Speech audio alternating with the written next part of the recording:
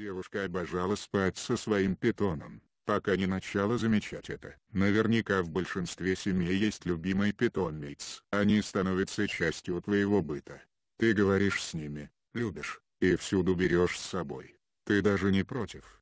Когда они спят с тобой в одной кровати. Ладно, когда это чистюля кошка или холеный пес. Но, оказывается, есть люди, которые любят нечто особенное. Эта женщина пожелала остаться анонимной, но ее история звучит как серьезное предупреждение. Как бы там ни было, но животные, которые в дикой природе являются хищниками, могут преподносить порой весьма неожиданные сюрпризы. Но вернемся к нашим питонам. Эта женщина очень любила свою змею и таскала ее с собой буквально повсюду. Что уж говорить о том, что и спали они тоже вместе. Однако вскоре женщина заметила неладное, питон стал худеть, и в один прекрасный момент полностью отказался от еды.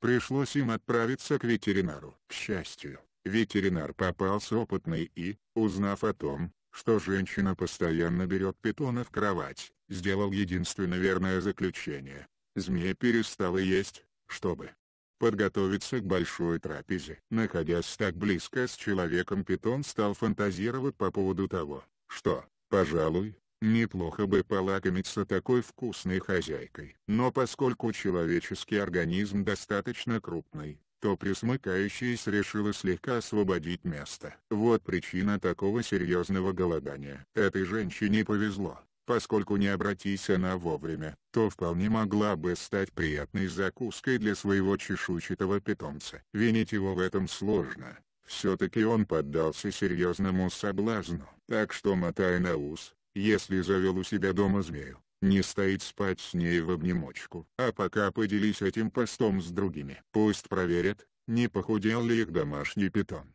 Спасибо. И не забывайте подписываться на наш канал